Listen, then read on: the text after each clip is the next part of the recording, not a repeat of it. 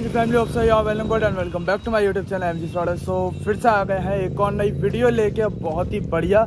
ये वीडियो जैसे कि हर बार मैं कहता हूँ थोड़ा सा भाई मुझे जल्दी करना चाहिए था, पर जो भी है भाई थोड़ा सा डिले होगा, इसके लिए बहुत बहुत सॉरी तो आज हम आपको दिखाने वाले हैं Duke two fifty versus R C two hundred third generation so ये मेरी जो है सेकेंड जनरेशन ड्यूक और ये जो नई वाली आर सी आई थी, ये वो वाली है।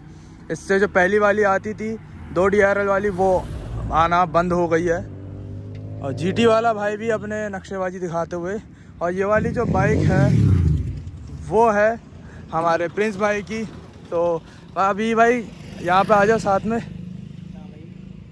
तो कितना टाइम हो गया अभी आपको आर सी लिए हुए? पाँच महीने हो गए और क्या सोच के अभी आपने आर सी ली थी?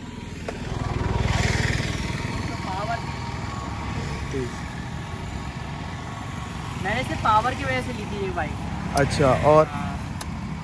ऐस, ऐसा क्यों कि सिर्फ़ के टी एम ही और बाइकें भी थी जैसे आर एम फाइव हो गई बजाज पहले पहले में 200 थी आरसी में ओल्ड जनरेशन थी तो कहते हैं वो किसी कारण हमें बेचना पड़ी।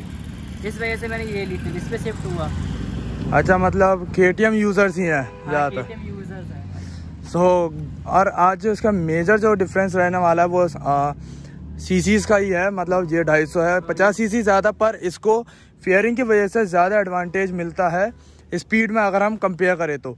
हाँ अगर हम पंचीनेस में कंपेयर करें तो ड्यूक जो है थोड़ा सा ज़्यादा पंची रहती है क्योंकि नेकेड है। प्लस इसका जो सिटिंग पोजीशन है, वो बिल्कुल अपराइट है, जिसकी वजह से आपको टॉर्क इसमें थोड़ा ज़्यादा फील होता है। और आरसी जो है, आपके फॉर भाई फॉर ग्रीन गाड़ी है भाई। रेस कंपटीशन गाड़ी का नाम है आरसी तो भाई इससे तो भाई पंगा लेना मैं सोचता हूँ बेवकूफ़ी होगा आरसी के सेगमेंट से। हाँ हो सकता है कि आप लोग कह सकते हो कि भाई आर एस टू हंड्रेड भी आती थी कि अपने अपने सेगमेंट में सारी गाड़ियाँ बेस्ट है। आर सी टू हंड्रेड अपने सेगमेंट में सबसे बेस्ट रहती है। कुछ फीचर्स ऐसे हैं इसमें जो बाकी गाड़ियाँ प्रोवाइड नहीं कराते। वेल well, अभी हम कुछ पॉइंट्स को लेके हम इसमें डिफ्रेंशिएट करने वाले हैं। जैसे कि फ़र्स्ट पॉइंट हो गया हमारा लुक वाइज तो लुक वाइज दोनों गाड़ियाँ बहुत प्यारी लगती हैं। पर एक जो डाउट जो है डाउट नहीं कहूँगा, एक जो क्वेश्चन है, वो काफ़ी लोगों से सुनने में आ रहा है कि ये वाली आरसी का लुक कुछ लोग को पसंद नहीं आया। अब इसके पीछे का मैं आपको बताऊँ, लोगों के पॉइंट ऑफ़ व्यू पे होता है। जैसे कि भाई ने ये ली, भाई को ये वाली गाड़ी ज़्यादा पसंद आई। काफ़ी लोग होते हैं जिनको ओल्ड जनरेशन ही पसंद है, काफ़ी लोग होते हैं कि जिनको न्यू जनरेशन पसंद है। तो ये चीज़ आपके ऊपर डिपेंड करता है कि आप किस तरह की बाइक को पसंद करते हैं। तो ये वाली जो ड्यूक थी, ये मुझे सेकंड जनरेशन है और ये मुझे स्टार्टिंग से ही अच्छी लगती है और इसका जो थर्ड जनरेशन आया, अभी मैंने फिजिकली नहीं देखा है। वो भी आता तो उसको भी रख के हम ज़रूर कंपेयर करेंगे। अगर आप लोग कमेंट करोगे तो ज़रूर। बाकी बात करते हैं इसके पावर सेगमेंट की तो ये आती है आपकी 200 सीसी में और वो आती है 250 सीसी में। नीचे आपके पावर और टॉर्क इसमें मेंशन हो रखा होगा।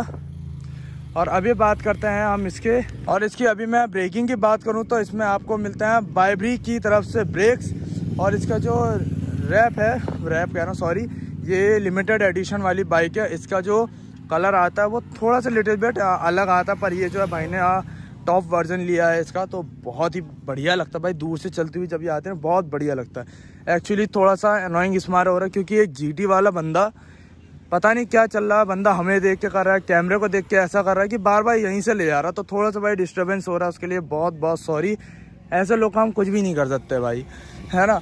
अगर जनरल में कोई बंदा होता तो वो इतना, इतनी बार यहीं से राउंड नहीं मारता, खाली जगह से। या तो बंदा शो ऑफ़ कर रखा है उसको छोड़ते हैं। अभी बात करते हैं हम इसके टायर सेक्शन की तो ऑलमोस्ट ऑलमोस्ट के की सभी बाइकों में आपको 150 सेक्शन का टायर देखने को मिलता है जो बहुत बढ़िया है क्योंकि इससे एक तो कॉर्नरिंग में आपको काफ़ी ज़्यादा बेनिफिट होता है प्लस ग्रिपिंग आपको बहुत अच्छी देखने को मिलती है। और फिर भाई के की हर छोटी से छोटे सेगमेंट में आपको आ, बड़े सेक्शन का टायर भाई देखने को मिल जाएगा जो बहुत ही भाई बढ़िया लगता है। खैर अभी बात करते हैं इसकी हैंडलिंग की तो हैंडलिंग में भाई मुझे ये वाला हैंडल ज़्यादा बेटर लगता है।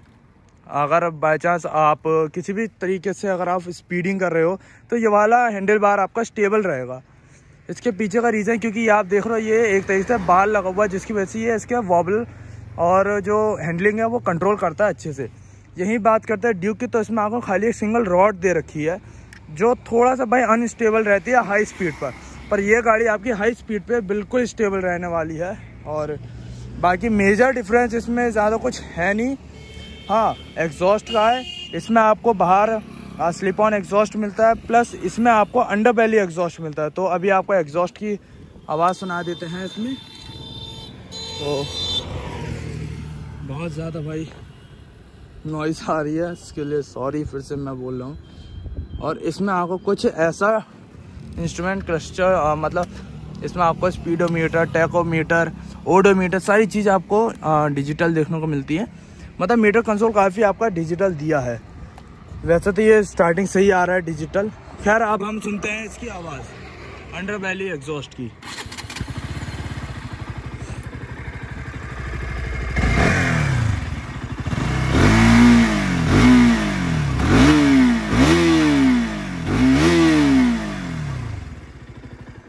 तो ये थी कुछ आवाज़ stock R C two hundred की।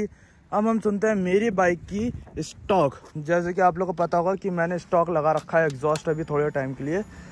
तो स्टॉक आवाज़ सुनते हैं अपनी ड्यूक 250 की और okay okay.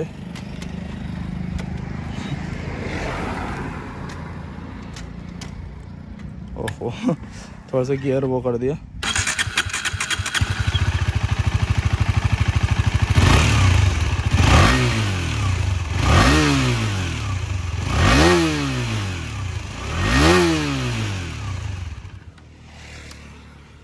Duke Duke two fifty में आपको थोड़ी सी श्रेल आवाज़ सुनने को मिलती है वही इसमें आपको थोड़ी सा टर टर की आवाज़ सुनने को मिलती है जो आप प्योर आ, जो बी एस थ्री में आती थी आवाज़ अंडर बैली वाली तो वो आपको इसमें सुनने को मिलती है। वेल गाड़ी दोनों अब गाड़ी दोनों ही अपने अपने सेगमेंट में बेस्ट है। ये आपके ऊपर डिपेंड होता है कि आप किस गाड़ी के ज़्यादा यूज़ हो यूज़ टू हो। आ, मैं ड्यूक को ज़्यादा पसंद करता हूँ इसलिए मैंने ड्यूक लिए। प्लस मैं RC लाइक करता हूँ बट मैं आ, फ़र्स्ट जनरेशन जो आता था, उसका और सेकंड जनरेशन मैं उसके ऊपर ज़्यादा प्रेफर करता हूँ क्योंकि वो जो एग्रेसिव लुक है ना, वो बहुत ज़्यादा अमेजिंग लगता है। बस उसकी वजह, इस बाइक में आपको एग्रेसिव से याद है, इस बाइक में आपको कंफर्ट ज़्यादा मिलेगा। कंपेरेटिव टू पुरानी वाली आरसी क्योंकि वो बिल्कुल ही आप लेट के चलाते हो, इसमें ये अभी मैंने चलाई, बिल्कुल अपराइट आप बैठ रहे हो, कोई हाथ में पेन नहीं है, कोई भी शोल्डर में पेन नहीं है, ये आपको इसमें बेनिफिट मिलने वाला है। और सीट जो कंफर्टेबिलिटी है वो इसकी काफ़ी बेटर करी है। मैं कहूँगा ड्यूक से ज़्यादा बेटर कंफर्ट उसमें आ रहा है। सो so, ये था कुछ आज का रिव्यू उम्मीद करता हूँ काफ़ी आपको पसंद आया होगा। पसंद आया होगा तो वीडियो करना लाइक चैनल को करना सब्सक्राइब मिलता है अपने नेक्स्ट वीडियो में। तब तक के लिए bye take care and God bless you and stay यून मी एम जी